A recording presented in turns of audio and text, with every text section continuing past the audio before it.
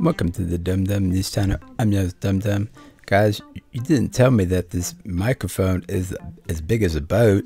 My goodness. Anyway, hopefully the sound quality is a lot better.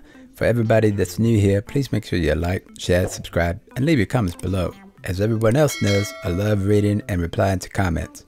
Okay, so I got a couple stories that I want to cover. Biden's border crisis inside the new Texas migrant facility already at 700 capacity where children are going hungry and sleeping on the floor as struggling government prepares to house 3,000 teens at Dallas Convention Center 500 miles away.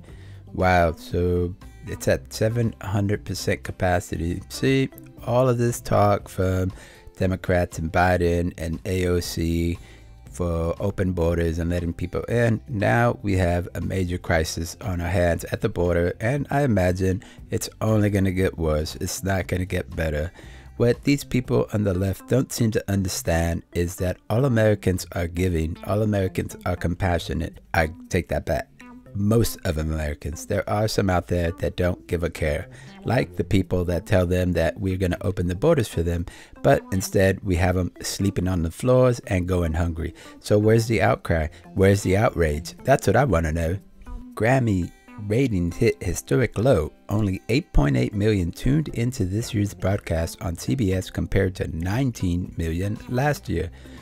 And here we have a perfect example of Hollywood, left, democratic people doing their thing. And what are the results? People are not watching. That should tell you something. That should tell you that Americans, people in America don't want to see this trash on TV. We don't want to see two women acting out sexual acts, while on the other hand, you are trying to cancel Dr. Seuss books, kids' books. We're just tired of it. We don't want to see it anymore.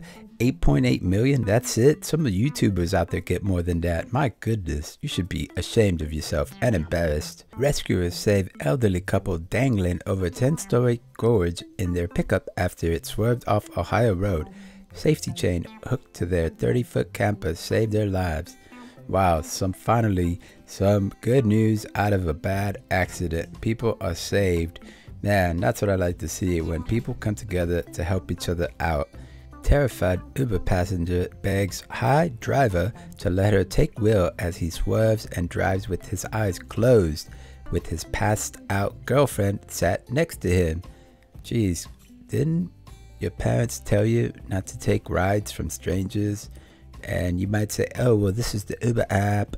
Well, have you read the terms and conditions? I mean, I assume that somewhere in there it says that they're not responsible and they're not liable for anything that happens to you.